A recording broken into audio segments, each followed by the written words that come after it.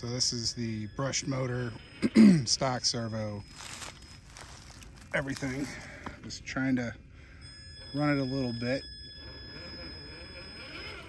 Kind of get some get some footage. I'm going a different direction. So I actually have no clue what's over here. Or how to run. Or how to run the stuff either. Uh, these are just kind of like some cool routes.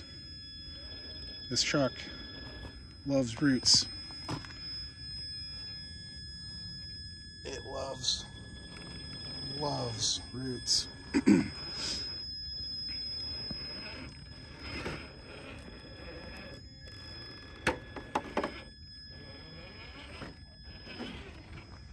flex in this thing is great.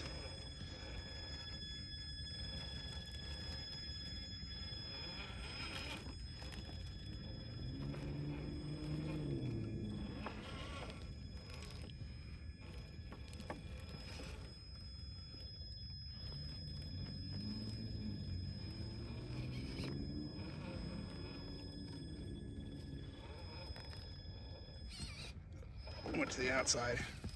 Try to get to the inside of this one.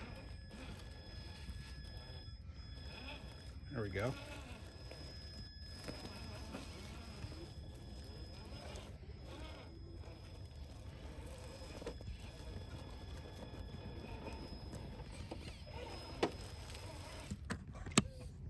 Gonna lock my rear. See it pull up over that. There it is. Man, I missed all that. I'm gonna go back down. Here we go. Pull up, baby. Yeah. That's it right there. That's sweet. Oh, so yeah, I don't know about uh, competitions. I've never done them. I read the rules. I think this truck falls squarely in that size category where, you know, I think with the wheelbase, the two twos are very awesome, but that puts you in class three. Then you're going to be running against everybody that's got totally awesome stuff. It's like you need a class two vehicle with all of those rules, but allows a but allows a two-two. You know, and these aren't like gigantic two twos. These are the Super Swamper TSLs, uh, not the XLs. So it's 5.4, which one tenth scale is a 54 inch tire. I'm not sure that's totally accurate. These look like, you know, something squarely in the 40s if it were real life. I don't know what we're gonna do here.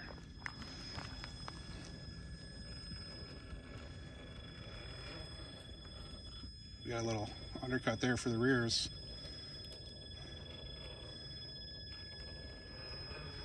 Oh, look at that. Love being pleasantly surprised, right? Here's some more, more of that walking away. I love to watch. Yeah.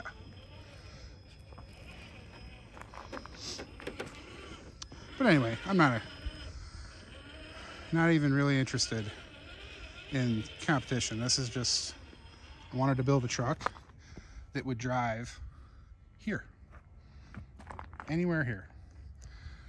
So we got this, these sandstone formations. This whole thing is huge. And uh, we've got a, a river system here awesome. Also, that's got a bunch of Cleveland shale, uh, slippery river stones, excellent like water, water hazards, um, fly fisher, fly fishing guys' dream. Uh, you know, we just got these awesome locations like this.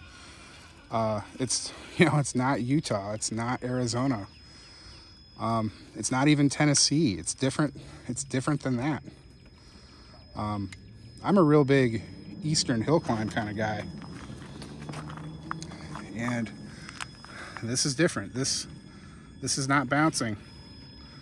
This is like crawling crawling in the mud.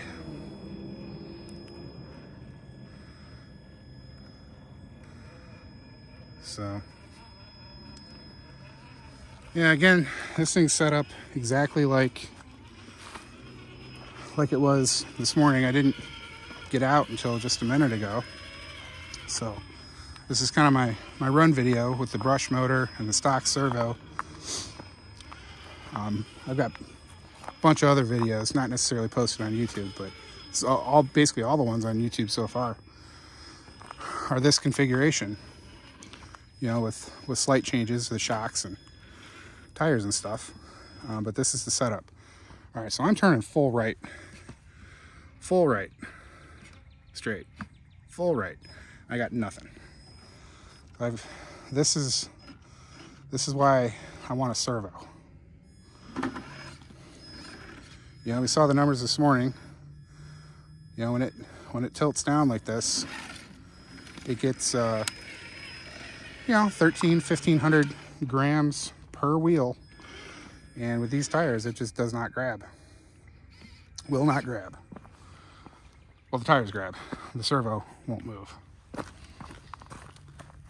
So I'm hoping that SA75 fixes that for me. This is beautiful in the sun, huh? Just gonna ride this ridge here.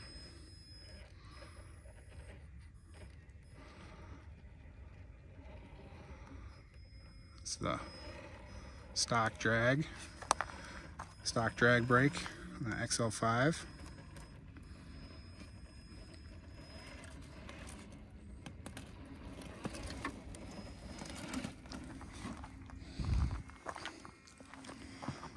Very nice.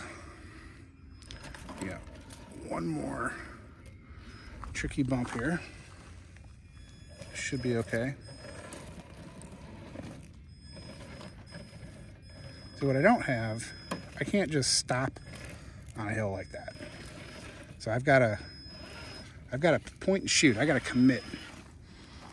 Stick out of here. So that's where the motor's coming from. Also, uh, my previous video, the Devil Staircase, that really, uh, really bugs me. I can't get up that thing. I feel like I should be able to. It's right at that angle where you're lightening up the fronts and it just won't bite. Uh, you know, you got all the weight on the rears, it just won't go up it. You know, it's not tipping over backwards, it's just sitting there gripping and slipping. So I've got a little idea. Um, I'm gonna modify these tires here that are currently Ohio cut. You know, I got the, the traction bars, traction bars cut out of them. I'm gonna not do a full Tennessee cut, but I'm gonna I'm gonna sipe the lugs that I have, and I'm gonna cut a couple of little lugs out uh, in the center patch to try and make like a, a mini traction bar. I'm going in stages basically. You guys see these roots? These roots are nutso. Which way do I want to go? Hmm. I don't want the stick to get mess with me. Let's get rid of him.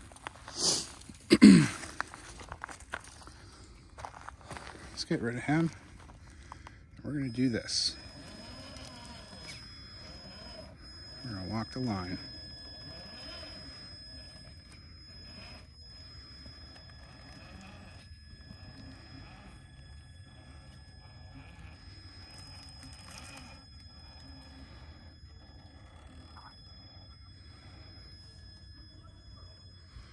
This is usable, usable flex.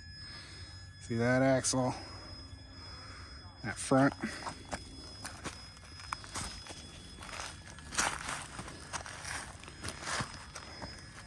That front's coming up. Check that out.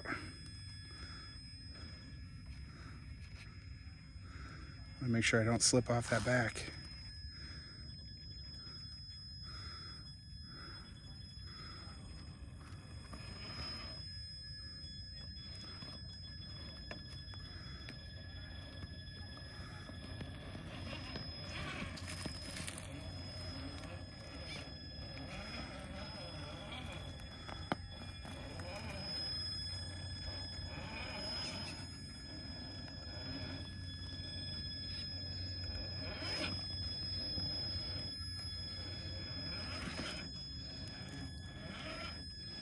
Yeah, the FOC would probably help in situations like this.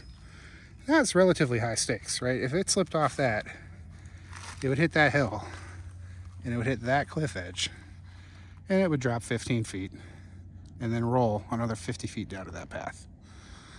Um, which is what I would do too.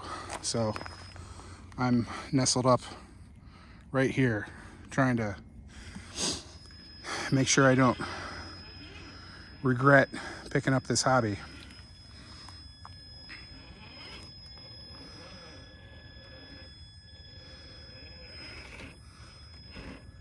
See if we know high center. Come on, rears. Oh no, we're we're hung.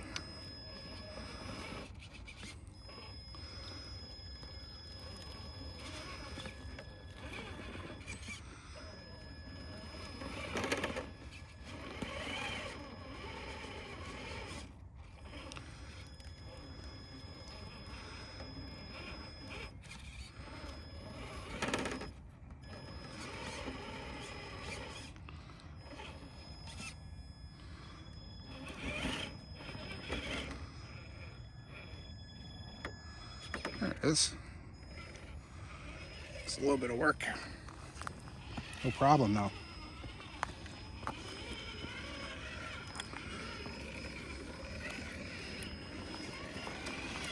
So right now I'm still driving on the that 1500.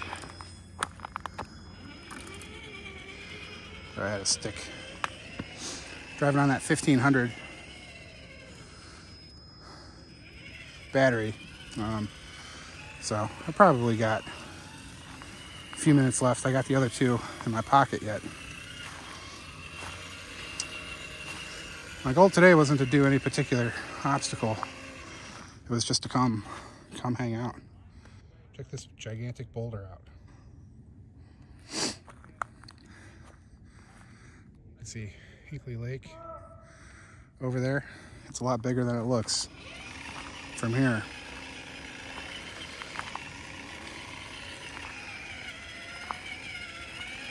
Absolutely amazing. But yeah, my goal, this truck, be able to drive it basically here and take it where I want to take it. You know, I can go down the river, take it where I want to take it.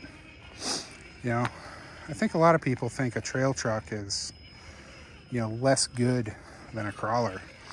And again, I'm not a I'm not a competition crawler. And nothing against those guys. I look up to them. But I think a trail truck has just got a different mission in life. Totally different mission. It's got to be good at everything. It's got to be the all-purpose. It can't just do rocks. And as cool as those competitions are, I'm not sure, you know, the the best trucks that win those contests, I'm, I'm not sure they uh, would be all that great just generally doing trail stuff. I, I don't know. We'll see. Um, maybe the all-purpose crawlers, like when you go to a contest and you don't know who built the course, you don't know what the course is going to be, if there's going to be muddy sections, wet sections, whatever, maybe those trucks are set up more like trail trucks. We're gonna pull this. Yes, we did. Anybody see that?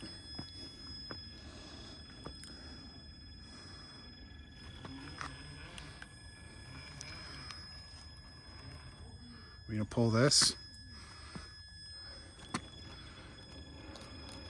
I'm not a pinstriper either. I am not ashamed to admit that I will go hand of God my truck to prevent a pinstripe. And nice to meet you.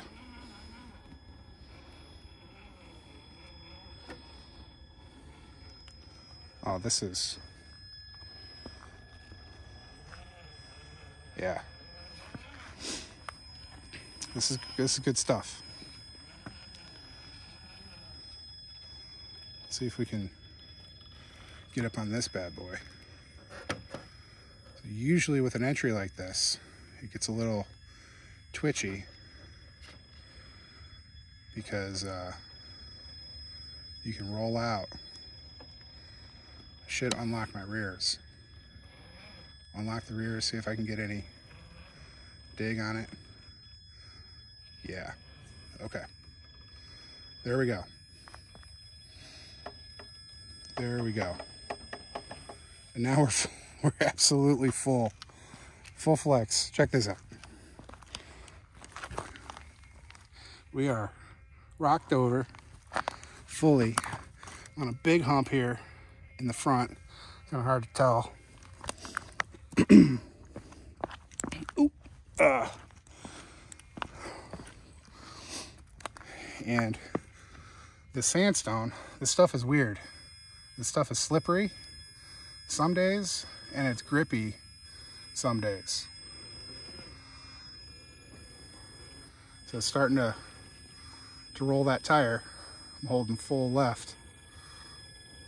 That's a good, uh, good tire test for comparison in the future there. Come up over that. So I'm thinking about doing something funny with the foams.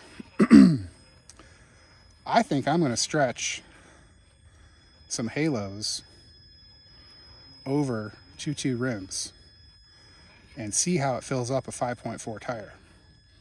And I might have to add like a tuning ring from a Crawler Innovations foam to help out. And I'm gonna see see how that works. So I'm kind of tired of spending money. And I don't want to just go buy foams or any foams or whatever. Wow, that's that's a misstep. That's a broken femur.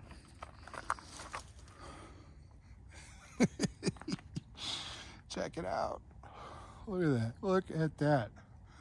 That's that's that's only like 35, 40 feet down.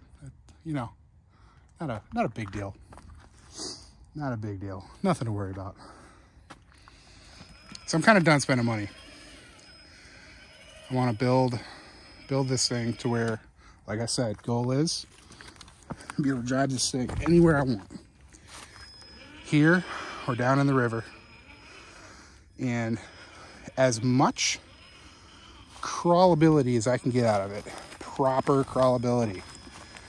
However that's defined, whoever gets to define what that means.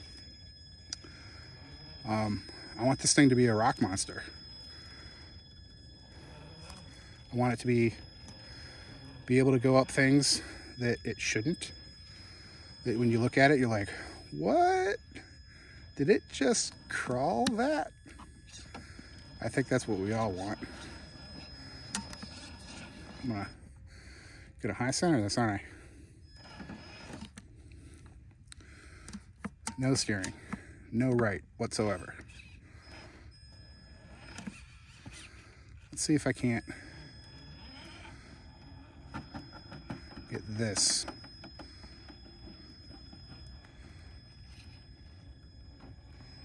Yeah. Anybody see that? I think that was on account of having all four wheels engaged, providing traction. So having that ability to go opposite lock to opposite lock when needed get over something like that. That's that's great. And the and the body clearance, body clearance was not not an issue. It wasn't hanging up. The tires aren't shaking the truck down as it's doing it. So that's why I, I had to put a body lift on it. you know, you got fender wells that are in this thing. Put a body lift on it to make sure your tires can get all the way up into them fender wells. Right, when the body's sitting in the stock position, it just, it rubs. And it, it limits you. So people talk about taking the stock limiters out, you know, tons of videos on that. One of the very first things I did, my very first thought was, why? It's not helping, nothing. You know, the tires are getting no more articulation because the body's stopping them. So I fixed it. I fixed it on the old GTSs. Um, you know, these Dravtecs, these are uh, made by Deluxe. They're good. Um, they don't leak.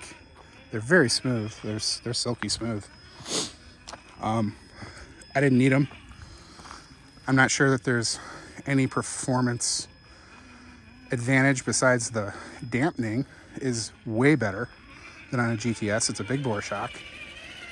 But we're not really using dampening on crawlers. You know, we're running relatively lightweight oil. Uh, most of us like fast timing anyway, and that's all dampening is, is timing. So, you know, like I said, they're, they're nice. I like them. They look cool. I mounted them uh, inverted. So the, the coilovers are on the top, um, which looks awesome. Got to lock up here. Lock up and flip. Let's try this again. There we go. Uh, the coilovers I mounted on the, the top of the, boy, it's getting dark, isn't it? They're up. But they're positive springs. My negative springs are the shock bands. So I've got upward control and downward control. And once I had that, now all of a sudden we can talk about timing. Um, so I'm actually running like 45 weight oil in the front. I'm gonna go this way. Uh, I think it's 35 in the front, 45 in the back is what I'm running, just to get it, uh, just to get it, you know, to where it it doesn't look like a real truck. Um, some guys do an awesome job. I'm not a cinematographer, but you know, if you slow your, if you increase your frame rate and uh, I wouldn't call it slow motion, but you your playback speed is a little slower. And you take all of your dampening out, so you make it fast timing. It looks real. It looks like a real truck. Um, I wanted to do that originally, but I just got into the performance aspect of it. I want this thing to crawl. I want to I want to take it and do all kinds of fun stuff with it. So, can't, everything's a compromise. And I guess this is how I'm building the truck for now. You know, will priorities change? I'm sure. I'm sure they will.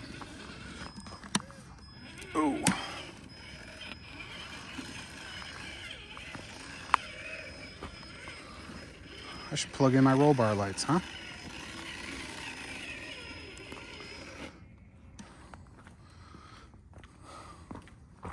Sandstone. Boom.